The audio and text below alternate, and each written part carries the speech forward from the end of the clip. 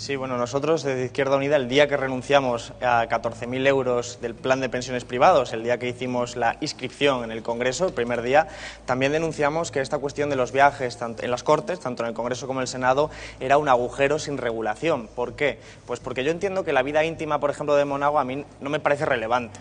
Lo que sí me parece muy relevante es que se financie con fondos públicos. Eso es corrupción, desde el punto de vista legal. ¿eh? No, no se trata de un delito, porque no está regulado en la ley, pero, pero sí que me parece que fondos públicos para una actividad privada me parece fuera de la ética y por eso creo que Monago tiene que dimitir de su función como senador y de su función como presidente de la comunidad autónoma. Ahora sí, aprovecho para decir, el agujero de la regulación de los viajes del Congreso va más allá. Por ejemplo, en el caso de los aviones, de los viajes que nosotros hacemos para representar al diferente territorio, lo lógico sería justificar que tú vas a hacer una actividad política de representación, sería lo lógico. No se exige, esto es lo que ha ocurrido. Pero los viajes de tren, Iñaki, no son nominales, es decir, no llevan nombre y apellido. Uno puede sacar un billete para cualquier otra persona y eso nosotros denunciamos que se podía hacer y sin embargo todavía esa regulación no existe y permite que haya agujeros. Esto lo hemos conocido de casualidad. ¿Cuánto más habrá? Eduardo Inda. Hombre, siendo senador por Extremadura, 32 eh, viajes a Canarias eh, pagados por el Senado. Dos al mes. Sí, dos al mes chocan, ¿no? Es decir, lo lógico es que un senador por Extremadura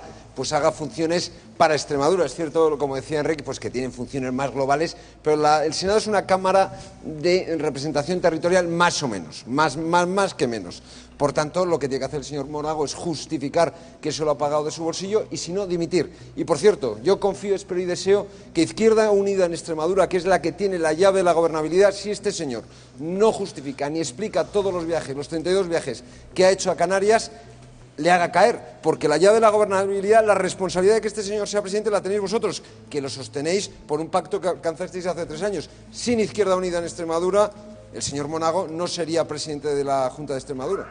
Bueno, obviamente por alusiones, vamos a ver, yo detecto que hay un problema en Extremadura y es que la mayoría de la gente votó al Partido Popular porque ganó las elecciones, fue el partido más votado. Izquierda Unida se abstuvo, se abstuvo y eso permitió efectivamente que el PP gobernase. Yo estoy en contra de yo, yo estoy Inda, Inda, además Inda, Inda, yo estoy además tú conoces mi posición perfectamente. Yo estoy en contra No, es que no te me dijiste que, que Monago, vamos, que era presidente, pero no por Izquierda Unida, digo, pues déjame terminar y te lo vuelvo a explicar. Debo vivir en Marte y Bárcenas, efectivamente, no era gerente del PP, ni, ni, Monago es presidente de la Junta de Extremadura por, por Eduardo Monago, Izquierda Unida. Monago es presidente de la Junta de Extremadura por la abstención de Izquierda Unida, razón por la que yo no estoy de acuerdo, pero técnicamente no es un pacto, es sencillamente que se abstuvo. Yo eh, no estoy de acuerdo y por eso creo que Monago debía dimitir por esta cuestión, pero es que nunca debía haber sido presidente de la Junta de Extremadura. Ahora, te voy a decir, Eduardo, nosotros tuvimos que elegir porque teníamos un 12% de los votos, ojalá estuviéramos mucho más